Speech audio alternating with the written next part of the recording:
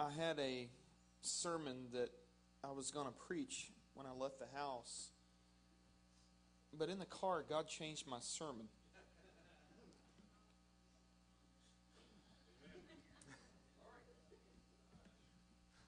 So I got two things going through my mind. First of all, this is out of my comfort zone.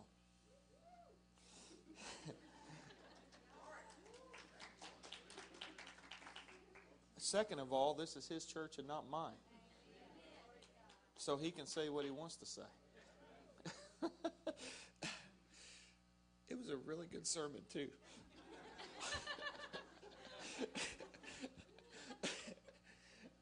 I know. Who was it that said they all are? Come on, no, I'm kidding.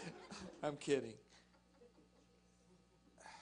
Well, somebody needs to hear this tonight. You know, one of the most dangerous things we can do as Christians is to worry. We worry about way too much. We worry about way too much. I want to read a passage and I want to get to another passage. Just Matthew records Jesus talking about worry. And I kind of look at this a little differently. It says, Therefore I tell you, do not be anxious about your life, what you'll eat or what you'll drink. Do not worry about your life, what you'll eat or what you'll drink, nor about your body, what you'll put on. Is not life more than food?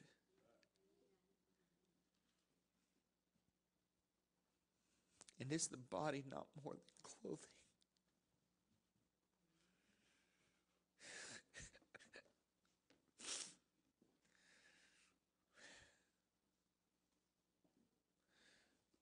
You know, when we worry, we worry about the most menial little things.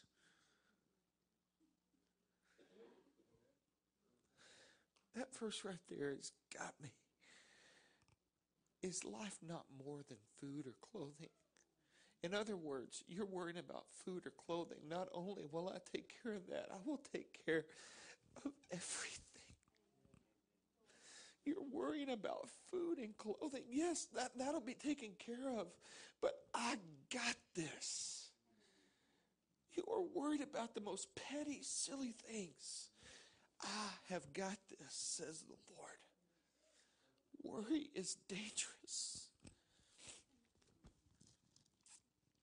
Is life not more than food and the body more than clothing?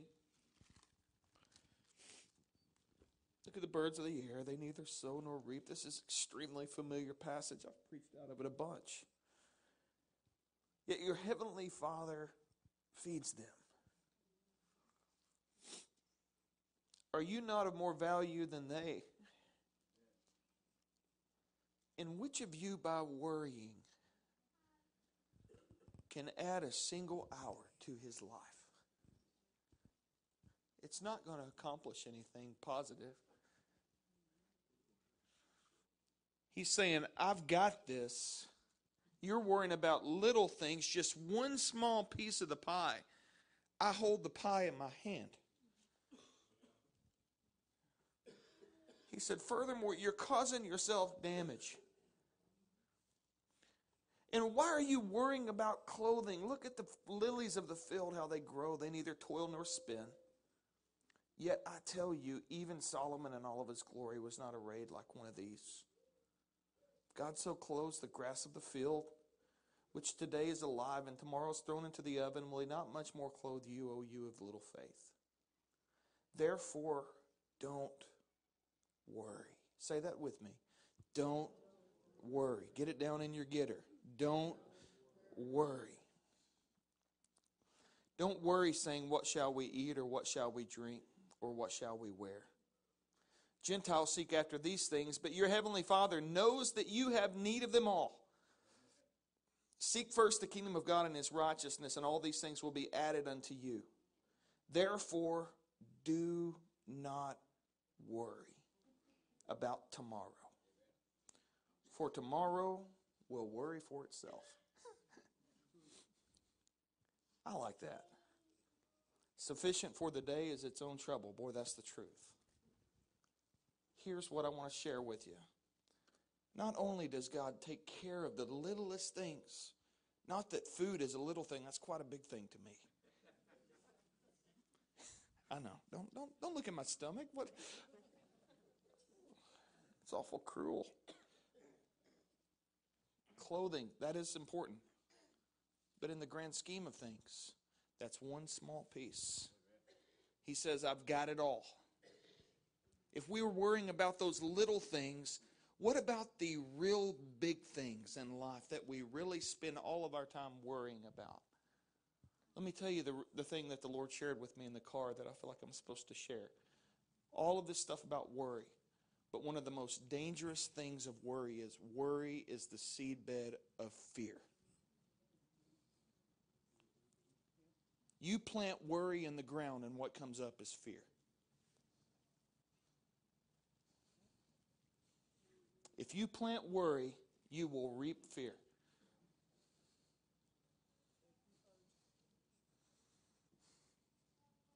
Well, so I'll tell you why. Because that's not from God.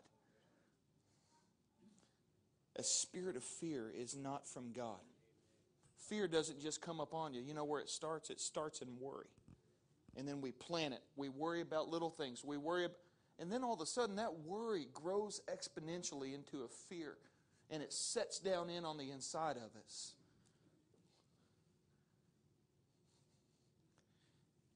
Second Timothy chapter 1 says, For this reason I remind you to fan into flame the gift of God which is on the inside of you through the laying on of hands. For God didn't give us a spirit of fear. Say that with me. God did not give us a spirit of fear, but what? Power, love, a sound mind. Power, love, sound mind. I'll talk about the garden of worry for a minute. How many people have worried this very day? How many people have worried about something today that you worried about yesterday? How many people would be bold enough to say, I've worried so much, I've become fearful about this thing?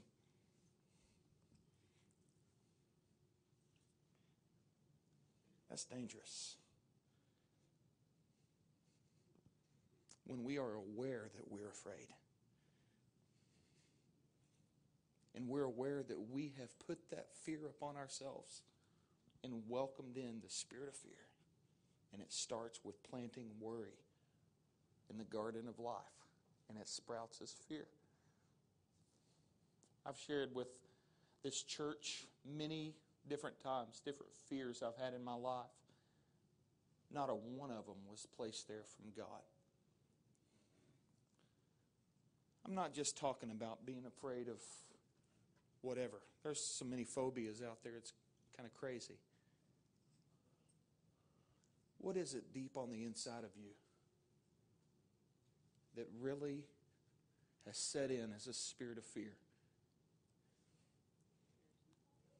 Fear's not of God, that's right. See, some would say this, and I do believe this. Don't speak your fears. I believe that. But on the other hand, we need to know what our enemy is that we're fighting against. There's a lot of times an enemy has set down on the inside of you and you don't even realize what you're fighting against. And at that moment, you need to speak against it. Not welcome it in, but rebuke it. Now we're going to get down home and real here for a moment. How many people know that you're loved in this church?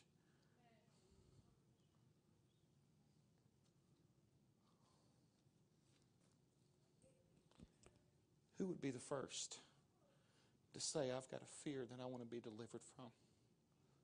Because God wants to set some people free from fear.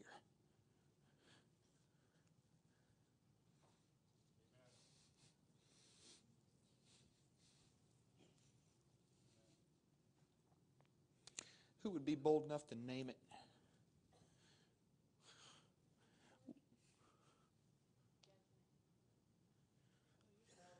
Fear of failure. It's not from God. That is not from God. And in the name of Jesus, we come against the spirit of fear that has held her bound, Lord. A fear of failure, Lord the fear of being looked down upon because she's not good enough, because she's made mistakes, because she has failed, because she has fallen. That is not given to her from you, Lord. But you have given her power to overcome this in the name of Jesus. You have filled her with love. And right now we pray for a sound mind and spirit of fear of failure, we command you to go in the name of Jesus. Your time of reign has ceased in this mind and in this spirit in the name of Jesus. And we command you to be loosed out of this life in Jesus' name.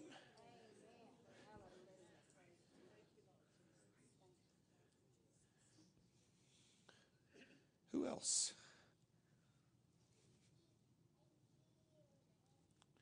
Fear of rejection.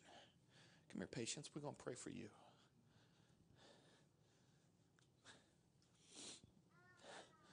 Lord, in the name of Jesus, mm, you have created this daughter, Lord. Lord, before she was in the womb, you knew her. Yes, and not only did you know her, you accepted yes, her. Jesus. In the name of Jesus. Yes, this spirit of fear that has come against her of rejection.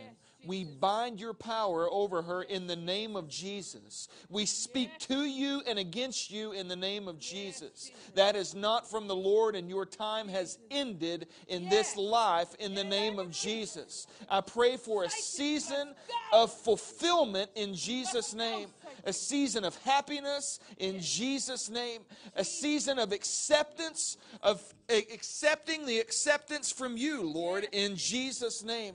And we bind your power over her life. We speak against you in Jesus' name, and we command you to leave. She's been given power to overcome this. She's been filled with the love of God, and she's been given a sound mind from this day forward.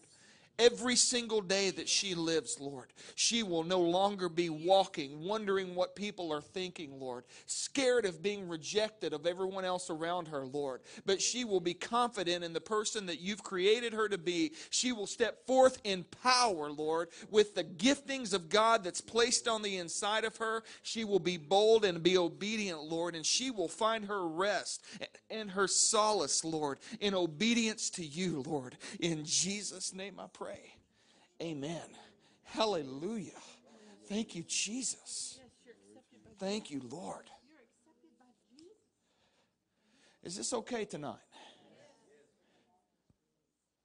Who else? Yes.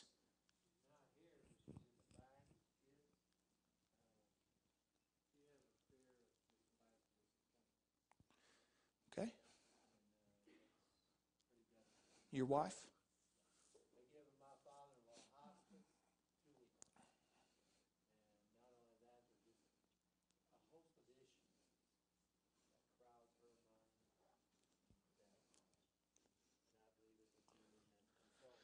All right, come here, brother. Brother Wayne, would you stand here with me? Brother Mike, would you put your hand on him and pray with me here? Father, we come against this thing in Jesus' name. Lord, you've not given us a spirit of fear, Lord, but of power and of love and of a sound mind, Lord. And tonight I pray for freedom in the name of Jesus for Lily May, Lord. In the name of Jesus, we declare freedom in her life in Jesus' name. Freedom from fear in the name of Jesus. Freedom from human inclinations to worry Lord, give her the ability to place things in your hands, Father, and to expect the best from you, Lord, and to not be looking for the disappointments, Lord, but to be waiting expectantly for the promises of God to be fulfilled in her life in the name of Jesus. You foul demonic spirit that has come against her, we bind your power in Jesus' name and we stand against you. We recognize you. We speak to you and we command you to go in the name of Jesus Christ, we pray. And I thank you for doing it, Lord. And we declare freedom in her life in Jesus' name. Thank you, Lord. Thank Amen. You, Praise God. Who else? God's not finished here tonight. Who else? You know what it is. Come on, I've agonized over this now. Fear of abandonment.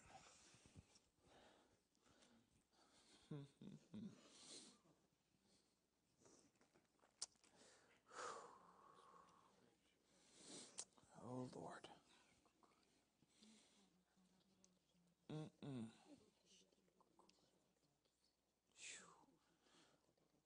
Joy has been robbed for long enough. Lord, I pray that the Spirit of God would just come into her tonight, Lord, and fill her with the joy of the Holy Spirit, Lord, in Jesus' name. Overwhelm this spirit with the joy of the Lord tonight, in Jesus' name, I pray. We stand against you, you foul demonic spirit that has plagued her mind, Lord, in Jesus' name, that has even altered the way that she's lived her life, Lord. You have robbed her of her joy for long enough.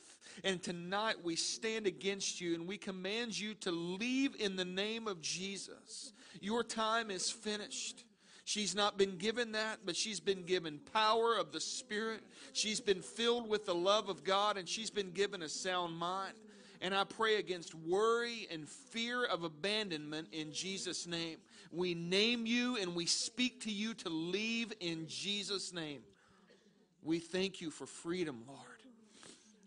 Lord, and I thank you, Lord, that an inner healing is even going to begin, Lord, in Jesus' name. There is a root that is coming up even now. Mm.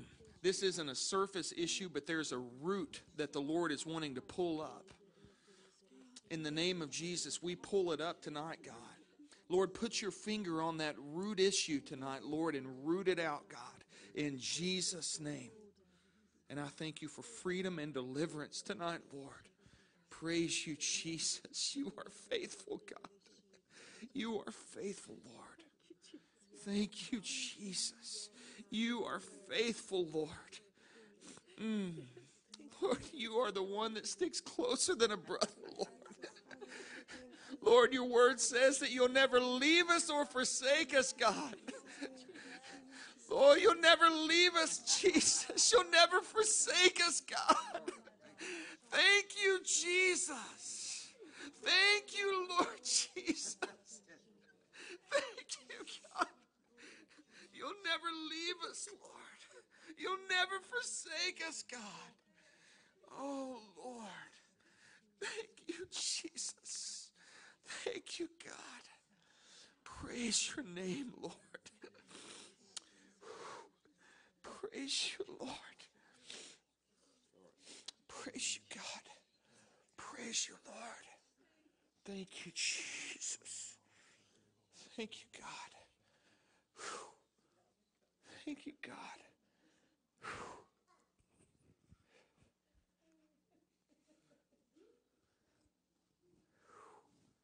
Who else?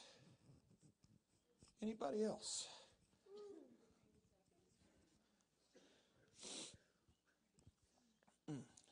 Stand up, Janet.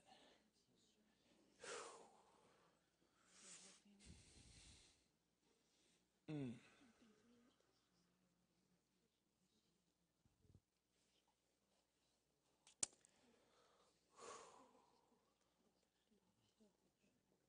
Mm-mm-mm. You've been lied to and you've been deceived by the enemy through a long season of warfare. He has made you to believe that this is what life is going to be like. He's removed hope, and there's been despair that has set in. Mm. Lord, return the hope, God, in Jesus' name. Lord, we cry out for breakthrough tonight in the name of Jesus. Breakthrough tonight, Lord. Lord, she's even questioned your goodness, Lord.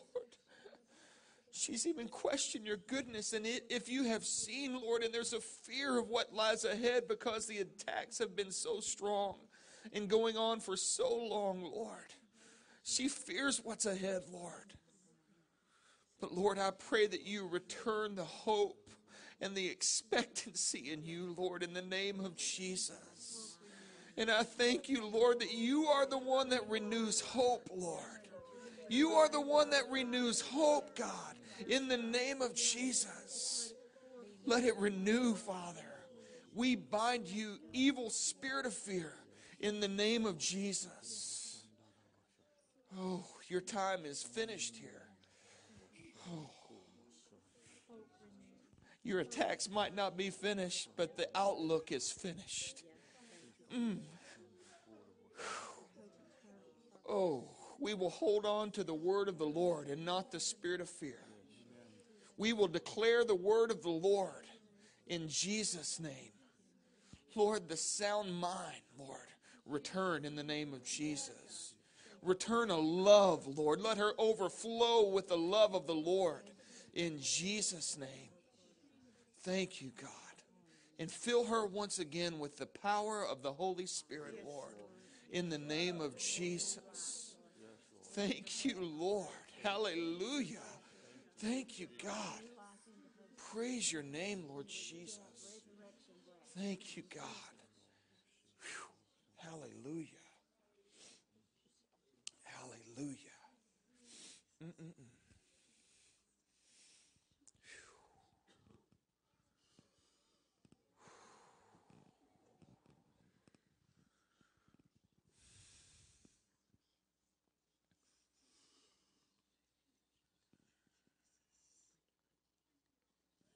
Mm.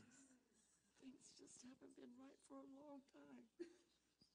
And it's all I can do to keep my head straight. I'd rather wither up and die than go through all this crap that we're having to go through with the family next door and losing mom, losing dad. And everybody expects so much and there's nothing I can do. And everybody wants to just come down on me and and I don't know what to do. And all I can do is just, of course, run. Run to the things that I know that I don't want to do. And I just want it broke. I just want to be free. I just want to be free. Say that again. I just want to be free, Lord Jesus. I want to be Yes, free. we want to be free. I want to be Jesus free. set her free. Jesus set her free. In the name of Jesus, set her free. Yes. I can't take no more. I don't want no more. I just want to be free. Oh my God, you're this, you're not. Jesus, Jesus, Jesus, I can't, no, no, no. Jesus, Jesus. I feel like my whole world's upside down and I can't do not a darn thing about it. I just know, Lord, that you're there. Lord, and I know you want better for us. I know you do. Jesus, And I just, I claim it and I, I accept it. Lord, just give it to me. Yes. Yes. Yes. Yes.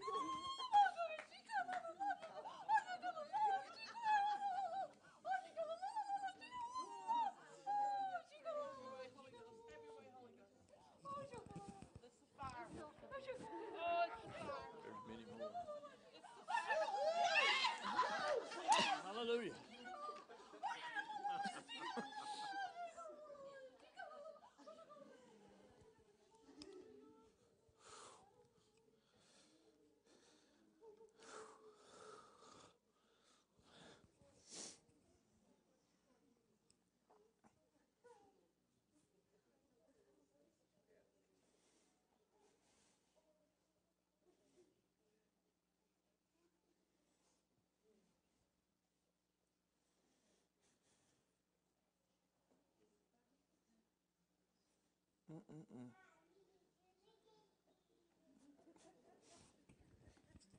Praise the Lord. Who else?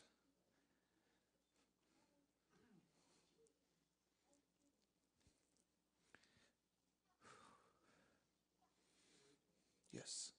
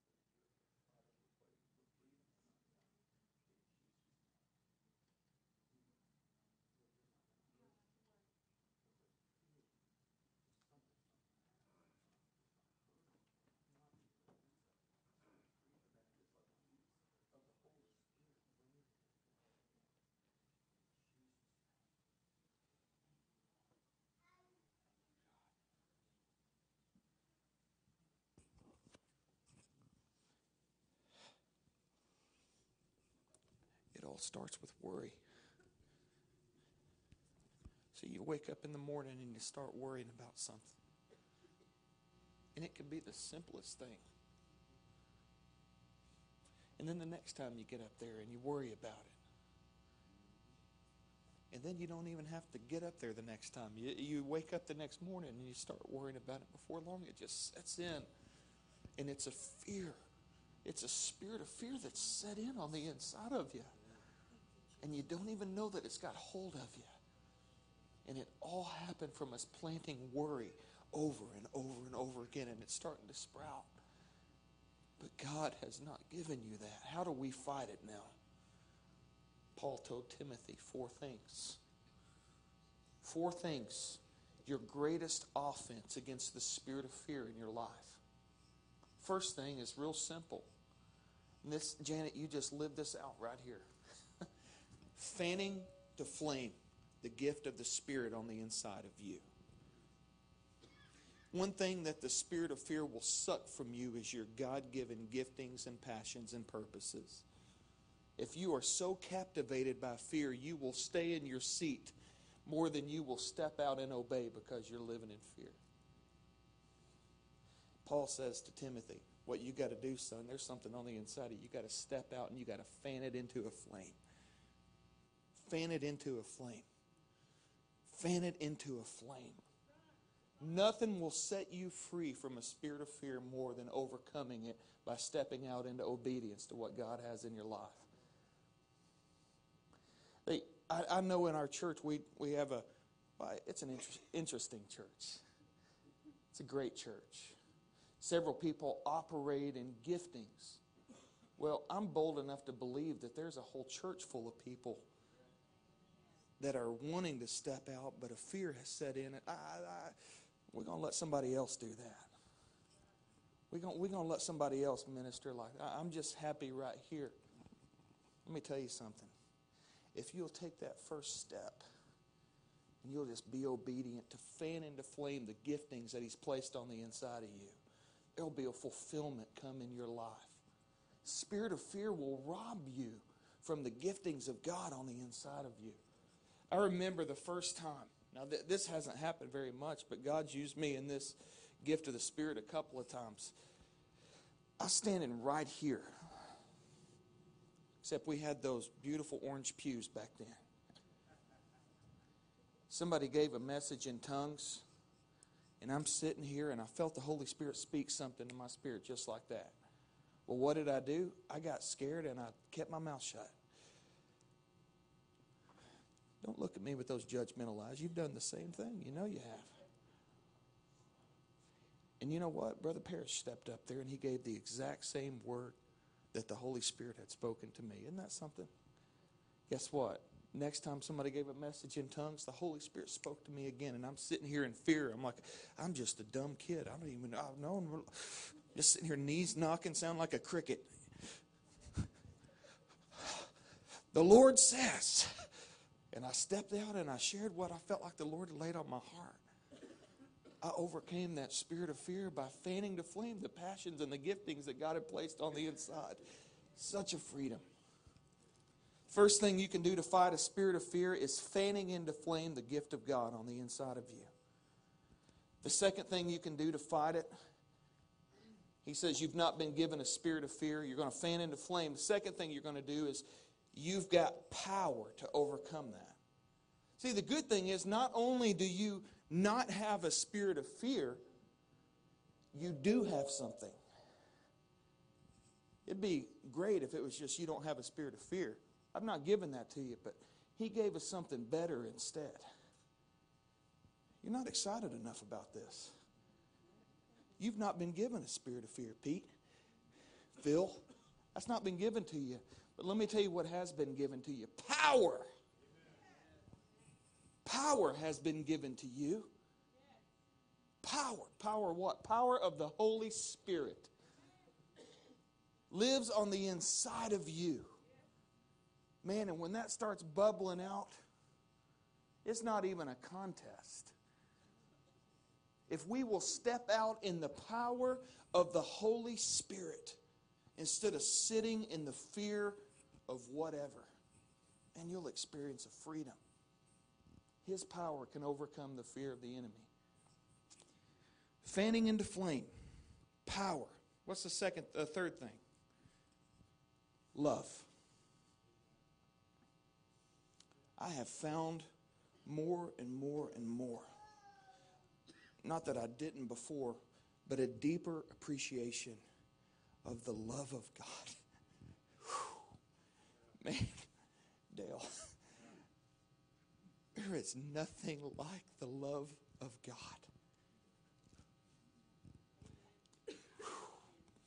It overcomes any fear that would ever be in your life.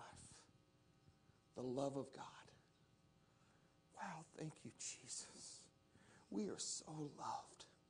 If we could ever grasp the love that God Almighty has for us, we would never have to be afraid of anything. Did you know that? A lot of times, fear comes from a not being able to appreciate and grasp the love of God in your life. He is your Father, and He loves you so much. And the hurt that you've experienced and the worrying that you've experienced that's caused fear, replace that with the love of God on the inside of you. It's so much greater. And what's the next thing? You've been given a sound mind. Let me tell you, that is something that fear will rob from you. You ever notice you can worry and fear yourself into just weird places in your mind? Where you're not even thinking straight anymore. Has anybody ever gotten into that kind of worry, that kind of fear? Where your mind is just thinking dumb things and you can't even think straight. You know the right things, but your mind won't even let you go there anymore. Old age.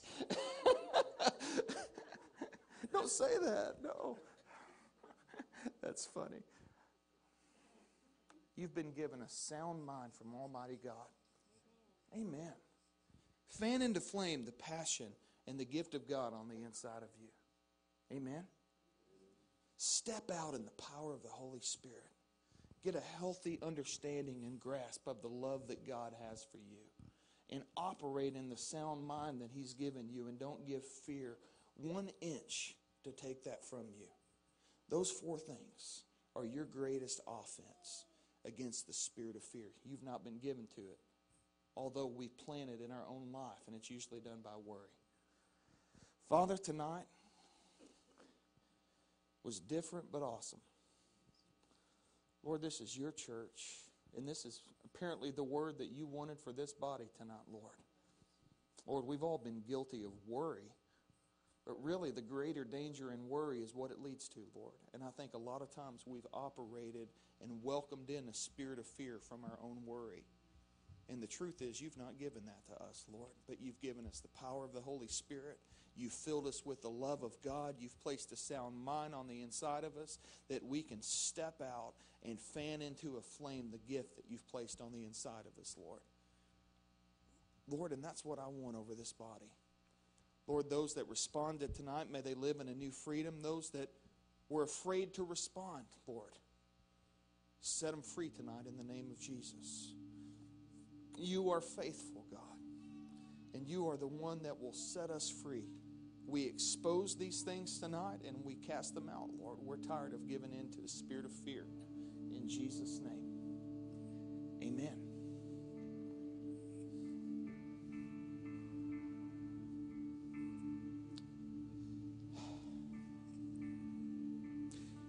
I'm finished. We're going to worship. You can come down front and pray. Pray for each other. You can love each other. You can bind, rebuke, cast out. Sounds good to me. I'm finished.